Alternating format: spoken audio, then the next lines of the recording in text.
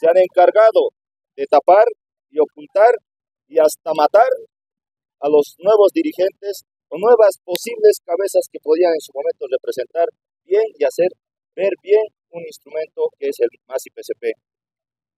Lastimosamente, el 2019 ha habido una masacre donde tanto en, San, en Sencata y en Sacaba ha habido fallecidos. No hay justicia, pero creíamos en nuestra propia casa, en el trópico de Cochabamba, estos compañeros heridos, fallecidos, víctimas en los procesos que ha habido eh, encarcelados injustamente, sabíamos o pensábamos que nos iban a apoyar, dar el respaldo contundente para poder hacer una demanda internacional y conseguir la justicia. Pero lastimosamente lo único que han hecho es callarnos. Hasta ahora las víctimas seguimos peregrinando justicia. Hasta ahora el trópico de Cochabamba y los jefes que se creen dueños del MAS no reconocen muertos. Pregúntenle al Quintana, pregúntenle a cualquier ejecutivo. ¿Acaso saben cuántos fallecidos existen? Se han lavado o se, se hacen a los que han recuperado la democracia, pero pregúntenle en qué hospital han estado, en qué cárcel, en qué penal, en qué EPI han ido a parar, o en qué amor está un familiar de ellos. Es impotencia lo que hoy vivimos como personas, como víctimas en el trópico de Cochabamba.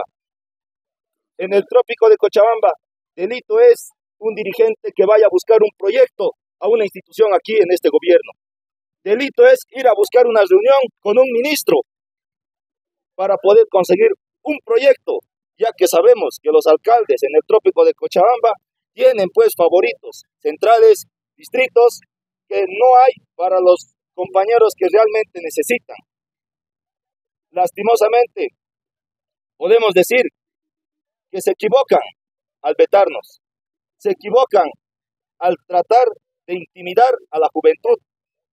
La juventud del día de mañana va a ser el escenario donde vamos a nosotros ya no defender a personas que el día de hoy sabemos muy bien qué tanto daño nos están haciendo.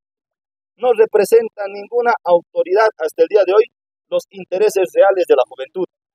No representan ni en lo político ni en lo orgánico los verdaderos intereses de la juventud. Hay cosas que hay que transformar yo creo que como jóvenes, con este nuevo directorio del MASI PCP, hay que hacer realmente cambios. La renovación tiene que continuar.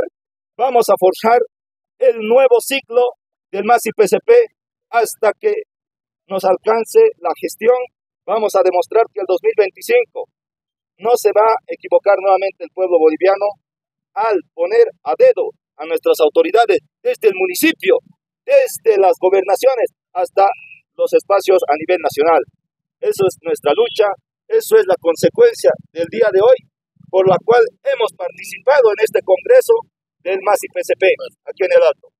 Hermanos, hermanas, ¡Que viva el trópico de Cochabamba! ¡Que viva! ¡Causacho un coca! ¡Causacho!